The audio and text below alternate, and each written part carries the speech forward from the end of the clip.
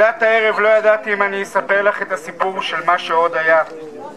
שנים אני מחזיק אותו אצלי. את מה שעשתה המערכת, המערכת של משרד המשפטים בראשך אמון כל כך להגן על כל העוולות שהיא עושה. כשהעובדים הסוציאליים אליהם פניתי בזמנו בבקשת עזרה למשפחה שלי התחילו לפורר את התא המשפחתי שלי. הם פנו לאשתי.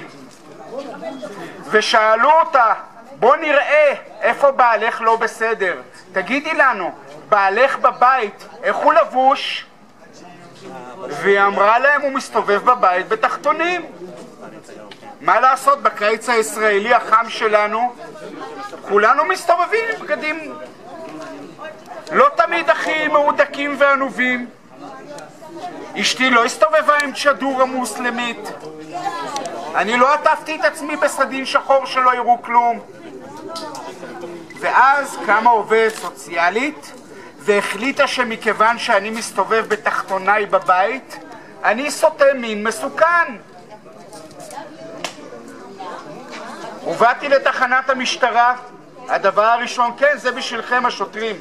הדבר הראשון שחוויתי זה הזיקים על הידיים והרגליים כמו העבריין הכי מסוכן שיש. שלוש שעות ישבתי במשטרת השעון ביפו שכבר נסגרה. שלוש שעות ולא אמרו לי על מה מאשימים אותי. אחר כך הכניסו אותי וחקרה אותי חוקרת לחוק הנוער ושוטר נוסף. במשך ארבע שעות הם ניסו לסחוט ממני הודעה שאני שולח ידיים לילדים שלי, שאני מאונן לידם, שאני מסתובב לידם בעירום ומגפף אותם שאני עירום. ארבע שעות חקירה, ואחרי ארבע שעות חקירה, בכל השיטות שאתם השוטרים מכירים, שוטר טוב, שוטר רע, כל מה שאתם מכירים, כמה החוקרת ואמרה אנחנו מרגישים ורואים שאדוני חף מפשע.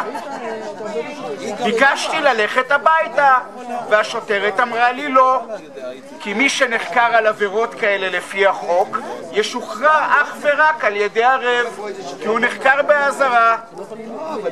איזה ערב יכולתי להביא אז ולהגיד לו, תשמע, המשטרה מאשימה אותי שאני שלחתי ידיים לילדים שלי, תבוא תשחרר אותי. למי יכולתי לספר כזה דבר? אמרו לי, אדוני, תשב בתא עם אנסים, עם גנבים, עם רוצחים, עם נרקומנים. אני שעברתי עשרים חודש מסלול בצבא המסריח הזה, תשב עם חלאות אדם עד שתובא לפני שופט. כן, השתוללתי. כן, איימתי שאני אתאבד אם יכניסו אותי למקום הזה. ואז בגיל 36 אני מקבל התקף לב ומובא לבית חולים. שנים עברו ואני מגיע לסכסוך עם גרושתי בנושא ראיית הילדים כי תאמינו או לא, מאז הגירושים ראיתי אותם אולי עשר פעמים. שמונה שנים. שמונה שנים שאני לא רואה את הילדים שלי. ואחרי שהגעתי איתה לוויכוח הזה היא הלכה לעובדת הסוציאלית. והיא אמרה לעובדת סוציאלית הבן אדם סוטה מין ועובדת הסוציאלית בלי להסס פעמיים פנתה למשטרה אחרי שאני לא רואה את הילדים שלי שבע שנים איך אני אתעלל בהם בשלט רחוק? איך אני אשלח להם את הידיים? ואני מובא לפני תחנת משטרה ושוב אני צריך להתחנן לאנשים ולספר להם שהמשטרה מאשימה אותי בזה שאני סוטה מין שמונה שנים ואני מפחד, מפחד, מפחד להתקרב לילדים שלי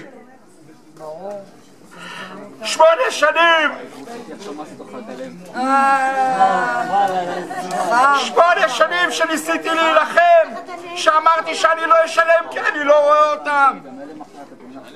וכל פעם שאני מדבר איתה, התשובה היא אני אעשה לך בלאגן במשטרה ומי כמוני יודע שאתם שוטרי משטרת ישראל.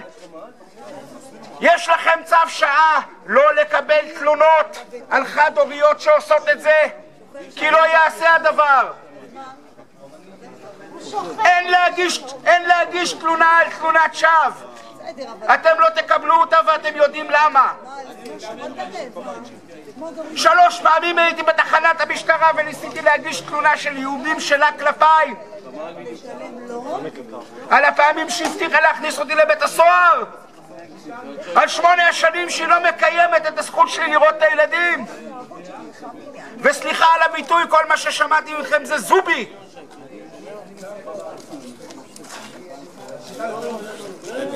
ואם לא הייתי בטוח בחפות שלי, לא הייתי מעז לספר כזה סיפור על עצמי. לא הייתי מעז, כי מי רוצה כזאת תגית? ואת, ציפי לבני, העובדים הסוציאליים שלך, שלא טרחו, העובדים הסוציאליים לא שלך, אבל שהמערכת שלך מגינה עליהם, לא טרחו לרגע, לרגע לברר מה קורה.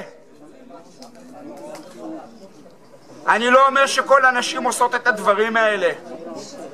אני יודע שיש נשים שנפגעו קשה מאוד מבעלים אלימים, רעים, חולרות. אז מה, אז כולנו כאלה? תייגתם אותנו באותו קלסר? מה תגידי על זה, ציפי לבני? מה תגידי על זה?